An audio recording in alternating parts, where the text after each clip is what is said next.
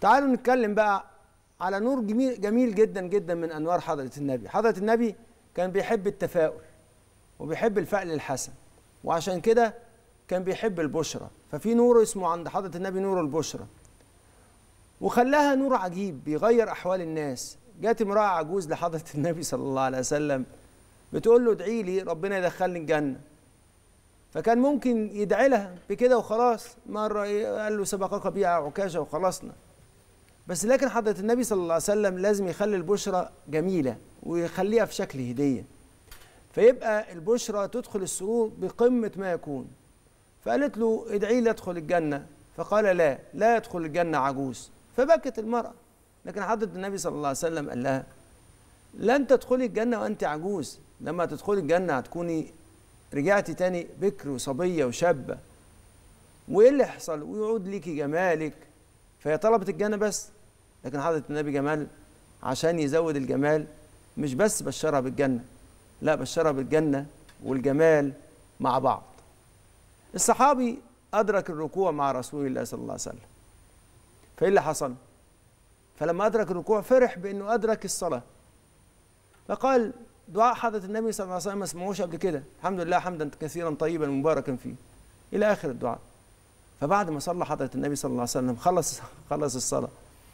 فحضرة النبي يقول من قال ما قال. فالراجل هو تكلم في الصلاة فخايف يكون عمل مصيبة وأبطل صلاته وأبطل صلاة الصحابة فسكت. فراح حضرة النبي راح صلى الله عليه وسلم قال إيه؟ من قال ما قال وقد قال حسنا. يعني إيه اللي حاصل؟ من قال ما قال وقد قال حسن. فالصحابي كده راح قال راح رفع إيديه خلاص هو اطمن حضرة النبي يقول له إيه؟ شوف حضرة النبي شوف لما يبشروا يبشروا إزاي؟ يقول له لقد رأيت بضعا وثلاثين ملكا يبتدرونها أيهم يرفعها إلى السماء. فحضرة النبي كان بيشوف كل حاجة وعارف إن الصحابة اللي وراه مين اللي قال الكلام ده؟ بس هو عايز يهديه هدية ويخليه سعيد. وحتى لما الصحابي الصحابي خاف حضرة النبي أمنه. فإيه اللي حصل؟ فبقت الهدية وبقت الفرحة اللي عملها له حضرة النبي صلى الله عليه وسلم. آدي كمان نور من أنوار حضرة النبي صلى الله عليه وسلم. فعشان كده حضرة النبي قال له لقد رأيت بضعا وثلاثين ملكا يبتدرونها. أيهم يرفعها إلى السماء.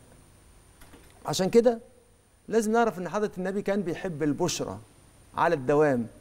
ومعنى ذلك إن حضرة النبي صلى الله عليه وسلم دايما كان بيبشر أصحابه.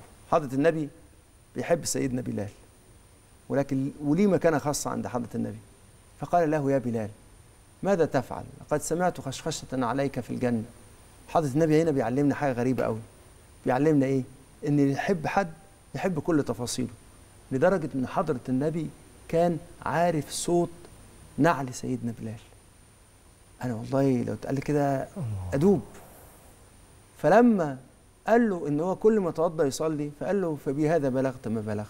حضرة النبي بيعلمنا إن إحنا دايما نكون بشر للناس اللي حوالينا.